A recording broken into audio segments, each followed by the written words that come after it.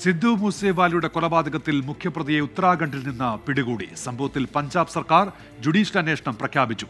പഞ്ചാബി ഗായകർക്ക് നേരെ ഭീഷണിയുമായി six four justice രംഗത്തെത്തി. ആം ആദ്മി പാർട്ടിക്ക് നേരെ പഞ്ചാബിലും ഡൽഹിയിലും പ്രതിഷേധമുണ്ടായി.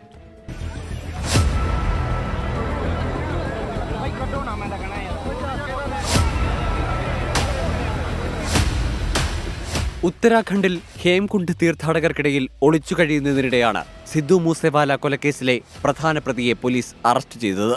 പഞ്ചാബ് പോലീസും ഉത്തരാഖണ്ഡ് പോലീസും സംയുക്തമായാണ് നീക്കം നടത്തിയത്. ഇയാൾക്കൊപ്പം അഞ്ചു പേരെ കൂടി കസ്റ്റഡിയിലെടുത്തു. സിദ്ധു മൂസേവാലയുടെ കൊലപാതകത്തിൽ കുടുംബത്തിന്റെ ആവശ്യം അംഗീകരിച്ച് ജുഡീഷ്യൽ അന്വേഷണം പ്രഖ്യാപിച്ചു. മൂസേവാലയെ താൻ ഗുണ്ട എന്ന് വിശേഷിപ്പിച്ചിട്ടില്ലെന്നും മാധ്യമങ്ങൾ ദുർവ്യാഖ്യാനം ചെയ്തതാണെന്നും D G P V K Bhavra വിശദീകരിച്ചു. കൊലയാളികൾ സഞ്ചരിച്ച രണ്ട് വാഹനങ്ങൾ കസ്റ്റഡിയിലെടുത്ത പോലീസ് ഫോറൻസിക് പരിശോധന നടത്തി. സംഭവത്തിന്റെ ഉത്തരവാദിത്തം ഏറ്റെടുത്ത ഗുണ്ടാ തലവൻ ലോറൻസ് ബിഷ്ണോയെ തിഹാർ ജയിലിൽ ഡൽഹി പോലീസ് ചോദ്യം ചെയ്തു. ജയിലിൽ നിന്ന് ഫോൺ വഴിയാണ് കൊലപാതകം ആസൂത്രണം ചെയ്തതെന്ന് റിപ്പോർട്ടുകളുണ്ട്. ജീവന് ഭീഷണിയുണ്ടെന്നും സുരക്ഷ വർദ്ധിപ്പിക്കണമെന്നും ആവശ്യപ്പെട്ട് ബിഷ്ണോയ് കോടതിയെ സമീപിച്ചു.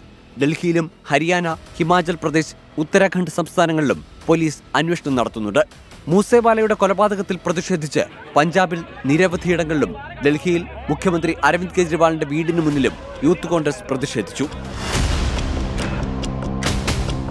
ട്വന്റി ഡൽഹി.